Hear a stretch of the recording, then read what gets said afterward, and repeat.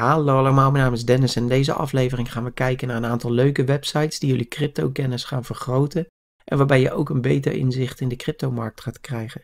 Ik sta deze keer niet op beeld, want we gaan kijken naar eh, webpagina's en dan sta ik alleen maar in de weg. Uh, deze keer eventjes zonder mij. Als we gaan kijken naar de Bitcoin koers, dan is die nog steeds belabberd. We zitten in de week na de crypto conference in Miami en er is nog niet veel actie. Amerika slaapt uh, nog wel tijdens het maken van deze video en we gaan kijken wat daar straks gaat gebeuren. We hebben toch wel enigszins positief nieuws dat twee Zuid-Amerikaanse landen uh, gaan proberen om Bitcoin te legaliseren als uh, wettelijk betaalmiddel. Dus dat is zeker interessant nieuws als dat doorgaat.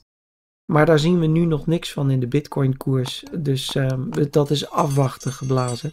Wij gaan uh, beginnen. Alle webpagina's die ik jullie ga tonen, die vind je de links in het commentaar. En uh, dat moet je dan nog maar een keertje na deze video terugkijken. Ik wens jullie voor nu alvast veel kijkplezier. De eerste webpagina waar we naar gaan kijken is cryptolinks.com. En dat is eigenlijk een verzameling van allemaal webpagina's die samengevat zijn op deze website. Het is uh, verdeeld in allemaal groepen. En daar uh, moet je even naar zoeken uh, wat interessant voor je is. En daar zitten dus allemaal websites onder die verzameld zijn door de bouwer van deze website. Het is ook redelijk veilig. Als je klikt op zo'n linkje, dan verschijnt eerst een pagina met wat je gaat zien als je die website gaat bezoeken. Dus dan is alles wel redelijk getest. En ik vind dit wel een hele mooie resource van al die websites. Want het zijn er ontzettend veel waar je je crypto informatie kunt halen. Kijk daarnaar, want hier kan je echt een behoorlijk stapje verder komen. Een van mijn favorieten is cryptobubbles.net. En zoals je wel eens hoort in de media, crypto is een bubbel. Nou, dat zie je heel mooi terug. Het getalletje wat je onder de coin ziet is de groei qua koers. En dit is een weekformatie, dus de groei per week. En je kan dit helemaal instellen zoals je wil. En je ziet dus kleine bubbels, grote bubbels en dat is dus die koers. Nou, hij staat nu op een week en laat ik hem eens op een uh, maand zetten. Dan zie je denk ik uh, veel beter de ontwikkeling. En ja, we hebben allemaal dumps gehad natuurlijk afgelopen maand. En dan zie je dat er eigenlijk twee coins zijn die zijn doorgroeien. Shiba Inu en Matic. En de rest uh, ja, heeft eigenlijk een negatieve groei gehad. Dus dan zie je heel mooi, zie je die rode bubbeltjes erin terug. Je kunt er ook nog een andere tijdperiode kiezen. We zouden ook bijvoorbeeld het uh, nog wat langer kunnen maken, naar bijvoorbeeld een jaar. En dan zie je helemaal een uh, ontwikkeling. Echter, dan zie ik het niet als bubbel.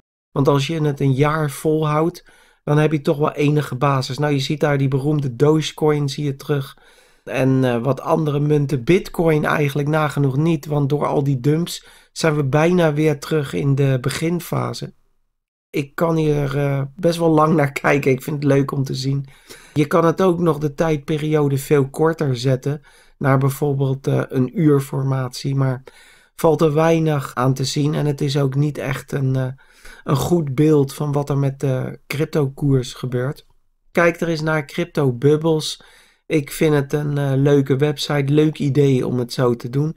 En als je hem op maandformatie zet dan denk ik dat je toch wel een goed beeld hebt wat er met de crypto aan de hand is en welke uh, munten op poppen staan of waar je niet meer verder in moet gaan investeren.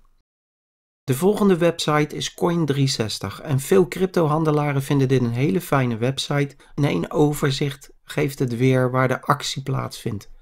De grootte van de blokken geven de kracht van de coin aan. Dan zie je links natuurlijk in het groot Bitcoin dan Ethereum en dan de kleinere munten. Maar het is ook verdeeld in blockchains en daar kun je best wel wat van leren. Bitcoin natuurlijk SHA-256 blockchain. Dan zie je Ethereum.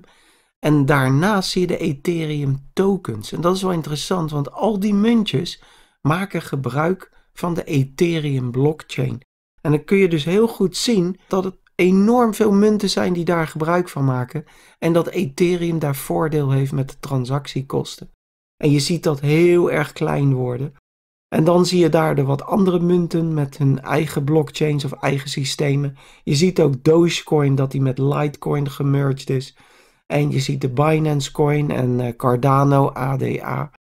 Het geeft een heel mooi beeld weer. En je ziet dus groene vakken, rode vakken. Je kunt dus ook op zo'n coin klikken En als je op zo'n coin klikt, dan opent zich allemaal informatie over een betreffende coin. En dan kan je wat meer je onderzoek doen.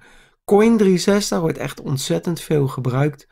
En uh, er zijn ook mensen die hebben dit de hele dag aanstaan om te zien waar moeten ze ingrijpen met betrekking tot hun coin waar ze in investeren. Nou, ik ga eens op Bitcoin klikken en dan zie je dus uh, wat zaken over de Bitcoin koers. Het uh, laden duurt wel steeds lang, vind ik wat irritant. Maar ook op welke exchanges de actie plaatsvindt market caps. Je kan ook de tijdlevels uh, kan je aanpassen van zo'n grafiek. En dan kan je wat meer onderzoek doen. Het, er zit best wel wat achter deze website. En ook de informatie van exchanges vind ik ook wel leuk. En dan is het te snappen waarom veel investeerders kiezen voor Coin360 om een algemeen beeld te krijgen van de cryptomarkt. CoinGecko is zo'n saaie website waar je eigenlijk de topcoins ziet. Oh, hij staat nog even op Bitcoin. Ik zet hem even terug op europrijzen. Je ziet hier de topcoins, een market cap, koersen, dat soort zaken.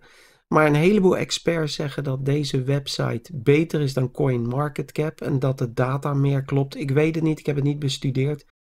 Maar wat ik interessant vind als ik uh, op een munt klik, ik neem bijvoorbeeld even Ethereum want dan is het wat makkelijk naar Bitcoin terug transformeren. Als ik uh, bijvoorbeeld hier zie je twee vakjes. Als ik daar tik 1 Ethereum, dan zie je daar gelijk een berekening hoeveel euro dat is. Dat vind ik wel grappig. Ik kan er ook 10 van maken of uh, 100. Het maakt mij allemaal eventjes niet uit. Maar dan berekent die direct de koers. En dat kan je dus ook naar Bitcoin omzetten of een andere munt. Hierachter zitten dus ook allemaal statistieken en info over de coins. Deze website wordt ook door de experts uh, aangeraden. Even nog terug naar Bitcoin, want dan kan ik dat beter laten zien bij Ethereum. Dus ik klik in één Ethereum en dan zie je de berekening naar Bitcoin. De laatste website die ik in deze video laat zien is ATH Coin Index. Dat is ook weer zo'n saai lijstje met de top coins. Hier zit echter wat interessants bij. Nummer 1, er zit een kolom met all-time high. En dan zie je dus de hoogste koers die het ooit heeft gehad. En als je op zo'n muntje klikt, dan zie je een rustige grafiek. Het is allemaal veel lekkerder leesbaarder, moet ik zeggen. En hier wijk ik ook soms naar af als je gewoon uh, wat makkelijker alles wil lezen en bekijken. Uh, hier zit ook een stukje nieuws bij, nieuwsfeed van een bepaalde coin. Ik uh, kan gelijk even opzoeken van die Zuid-Amerikaanse landen. Daar is die.